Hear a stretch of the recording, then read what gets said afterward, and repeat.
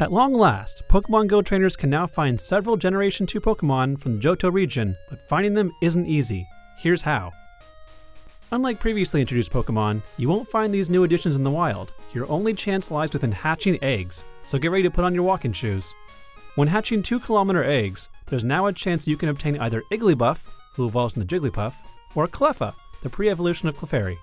Hatch some 5 kilometer eggs, and you might just get Pichu, the pre evolution of Pikachu, or even Togepi, a new Pokemon that can evolve into Togetic with 50 candy.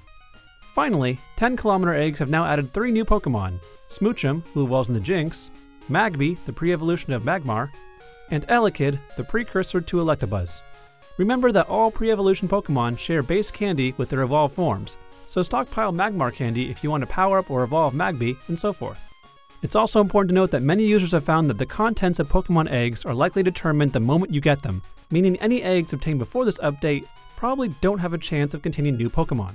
This means you'll need to clear out your previous cache by hatching any eggs you already have, which can make things a bit hard when you start getting new eggs, since there's no easy way to tell which of them are pre or post update. There's also no guarantee that just because you found a new egg, you're automatically going to get one of the new Pokemon, as they've been added to the pool along with all the other potential hatches. Because hatching is the only way to get these new Pokemon, aside from evolving Togepi to Togetic, you're going to need incubators, probably lots of them. This means unless you want to play the microtransaction game and stockpile incubators, you'll either have to collect coins by putting Pokemon in gyms and getting the defender bonus, or rely on the extra incubators you get every 10 levels your trainer earns. For more info on the new Pokemon that are released with the Johto Holiday Update, check out our Pokemon Go Wiki Guide, and for everything else, stay tuned on IGN.